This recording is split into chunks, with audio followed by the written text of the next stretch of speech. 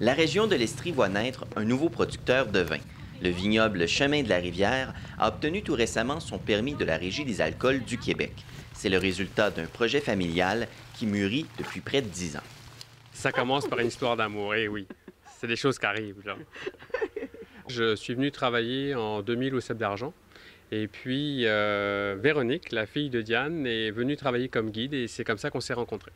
J'ai six années d'études dans la vigne et le vin en France. Euh, moi, je suis spécialisé dans le champagne. On, finit cette rangée-là, c'est la dernière rangée.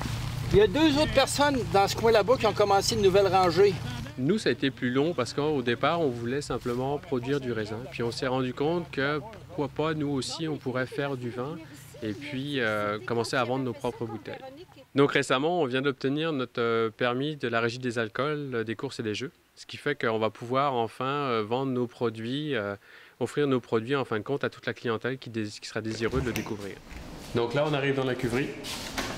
C'est ici qu'en fin de compte, on, je fabrique le vin. On s'occupe de tout ce qui est la vinification. Donc nous, ça va être plus un vin euh, monocépage. Euh, c'est plus un vin qui va être euh, très fruité, légèrement boisé, avec du corps. On a inclus notre propre rêve de, partir un vignoble. Et puis, c'est la chance qui a fait que Véronique était avec un, vigneron. Ça fait que on a fourni, les efforts, on a aidé à financer quelque chose qui aurait été difficile pour des jeunes qui commencent. La famille Maillé-Aubert a bâti cette maison sur un terrain situé sur le chemin de la rivière à Magog, une résidence multigénérationnelle. Dans un coin, c'est euh, les beaux-parents qui sont, qui sont là. Puis dans l'autre coin, c'est le- c'était le couple qui est maintenant une petite famille. Puis dans le centre, dans la maison, ce sont tous des, euh, des, des espaces communs. euh, Donc c'est ça, en fin de compte, c'est vraiment très familial. Euh, sinon, on a des amis, comme vous pouvez le voir à l'heure actuelle, qui sont en train de cueillir sous la pluie. Ça fait changement de la routine. C'est